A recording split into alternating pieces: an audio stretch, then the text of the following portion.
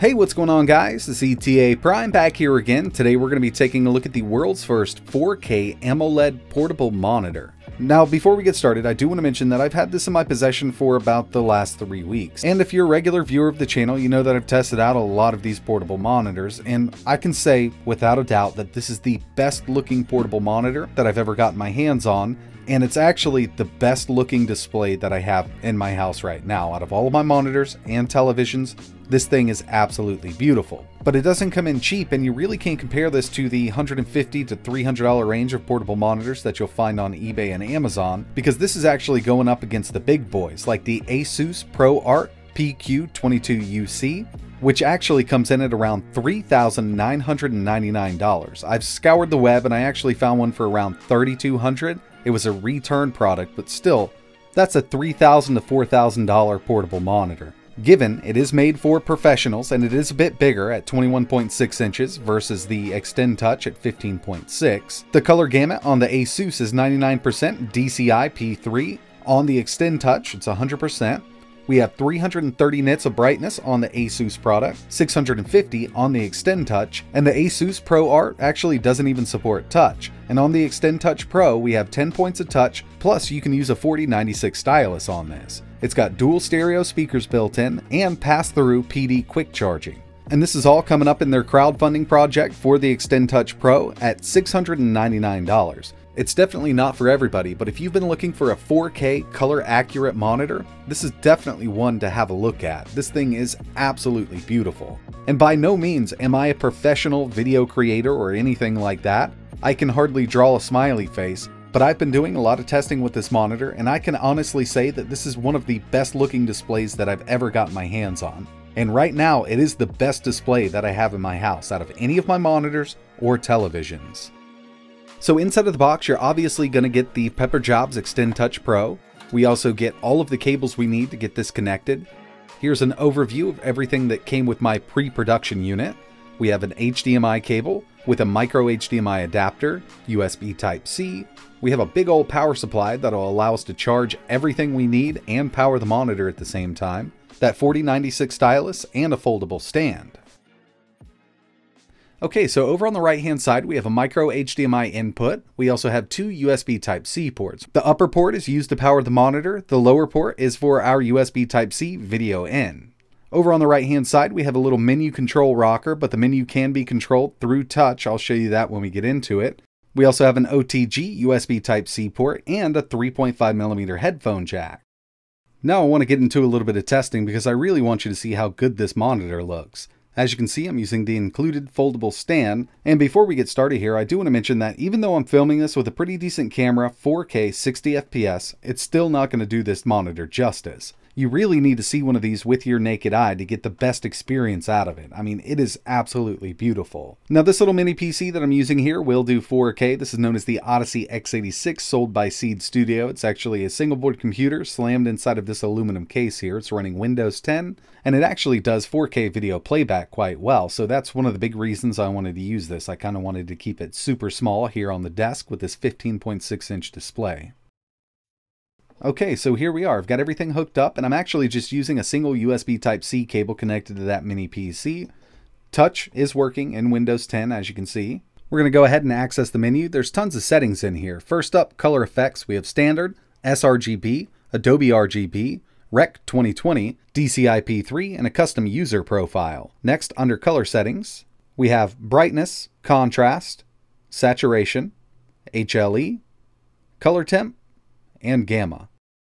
Moving down to image, we have sharpness, ratio, rotation, HDR, I just leave this on, PIP, and we can reset all of those from here. And finally, system. We have input, anti-burn-in, which I definitely leave on, OSD timeout, and at the bottom here we have info. This is by Pepper Jobs. It's the XT1610UO. And from the rocker, we can also adjust the volume. So there's tons of settings in here to get this looking really good to your eye, and I know everybody's a little different, but personally, I've left it on standard and I think it looks great. So on this little mini PC, I am set to 4K resolution, but I do have 250% resolution scaling set up because if I go back down to 100, I can't see anything. I mean, everything is super tiny. It's really clear when you get up on it, but if you're sitting a little ways away from it, it's really hard to see, so I stick with 250.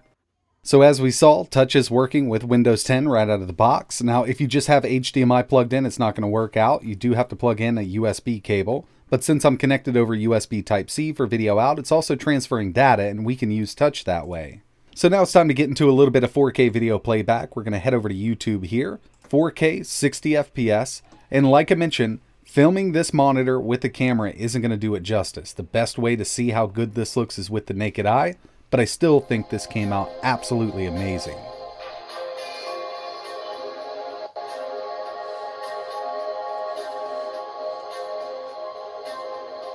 And since it's AMOLED, we have those super, super deep blacks. I mean, the color representation here is absolutely amazing. It just really pops. And by the way, this monitor actually has a 1 millisecond response rate, so gaming on this is going to be awesome.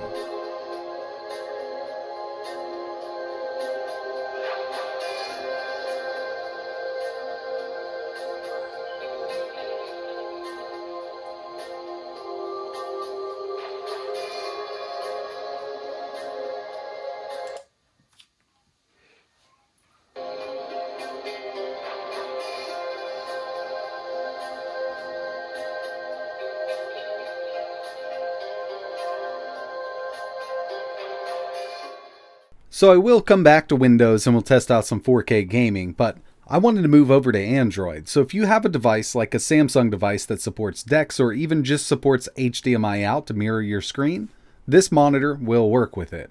This is a Galaxy S10 and I'm just going to show mirroring here. But as you can see, with a single cable plugged in from the monitor to the USB Type-C port on your phone, it will work. And we have those 10 points of touch. You can use the monitor as a touch screen and obviously we need to rotate the screen on the phone to get it to display full screen. But as you can see, it is working with Android. Now, one of my favorite things about the flagship Samsung devices is Samsung DeX, and if you're not familiar with that, we're going to take a look at it real quick. I'm going to go ahead and plug this into my Galaxy Tab S6 because I have all of my apps installed and it does support DeX. Just a single USB cable, you can either mirror the screen from the tablet or we can run Samsung DeX on one screen and Android on the other. And it does support touch in Samsung DeX, but basically DeX turns Android into a desktop operating system, and it's really nice to use with a keyboard and a mouse. And since this monitor has an OTG port on it, and we're plugged into the tablet over USB Type-C, all I need to do is plug in this little adapter here with a mouse and keyboard, got a wireless mouse and keyboard dongle, and now we have keyboard and mouse support inside of DeX. And as you can see, we still have Android running on the tablet. You can do tasks over there, and we can move over to the big screen here and play some games or get some work done, or vice versa. It's really up to you. But for this video, we're just going to launch a game. I'll go with Asphalt 9. Make sure I can resize this. We'll go full screen with it. And I'm going to connect my Xbox controller.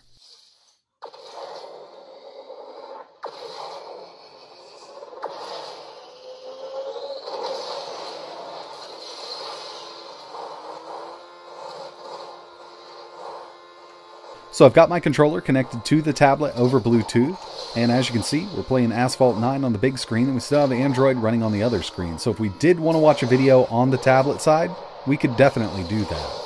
Now, not talking about DeX, but Android mirroring, as long as your phone supports mirroring over HDMI or USB Type-C, this monitor will work with it.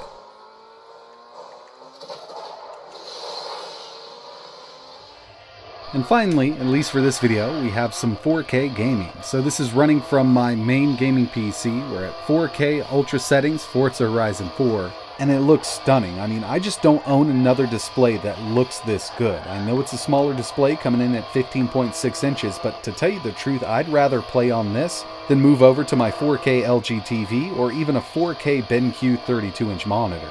And I have to reiterate it again, but filming this screen just doesn't do it justice.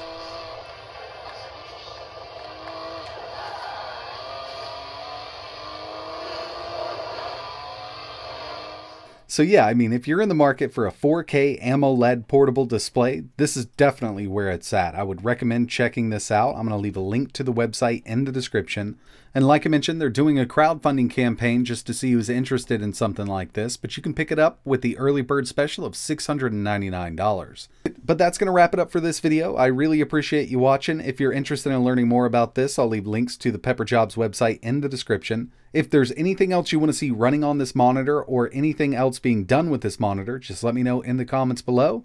And like always, thanks for watching.